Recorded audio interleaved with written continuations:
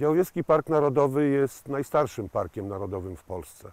W tym roku obchodzimy właśnie stulecie ochrony tego terenu.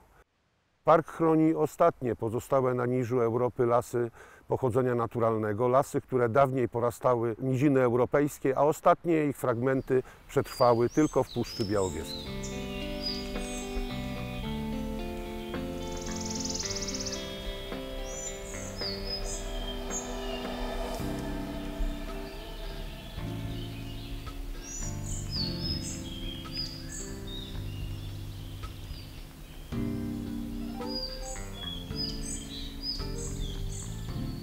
Jedną z atrakcji Białowieskiego Parku Narodowego jest Muzeum Przyrodniczo-Leśne, w którym znajduje się ekspozycja stała, na której możemy zobaczyć zarówno zwierzęta i rośliny tutaj występujące, ale także obserwować procesy, które zachodzą w parku.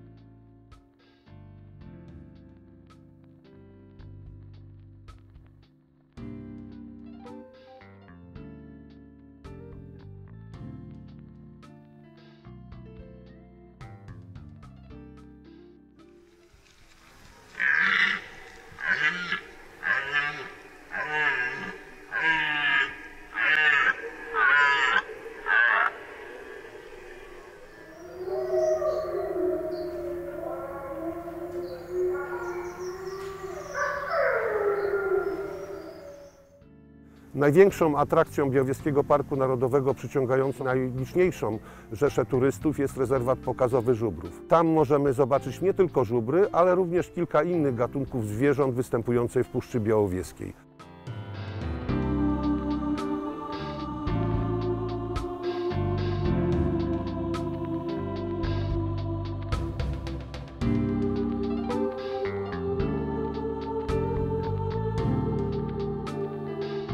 Dodatkową atrakcją rezerwatu jest pawilon edukacyjny, w którym znajduje się ekspozycja poświęcona żubrowi, gdzie na 12 multimedialnych stanowiskach możemy zapoznać się z biologią i ekologią tego gatunku.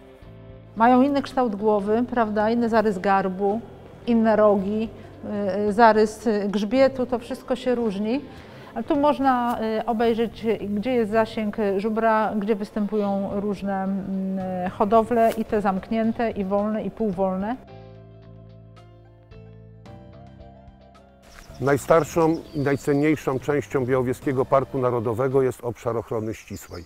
Obszar ten objęty jest wyjątkowym rygorem ochronnym, w związku z tym możemy się tam dostać tylko z licencjonowanym przewodnikiem i w grupach liczących 10 osób. Uh, the faint parts here there were generally some addition